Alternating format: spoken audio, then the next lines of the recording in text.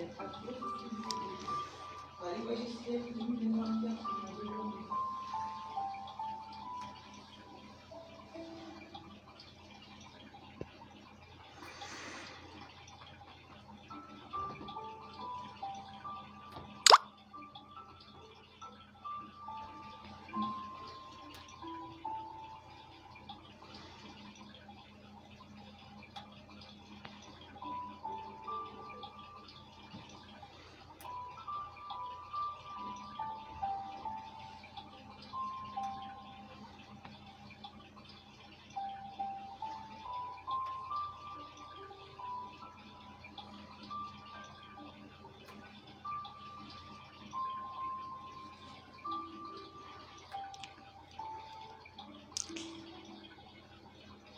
Quai, seu app de vídeos curtos.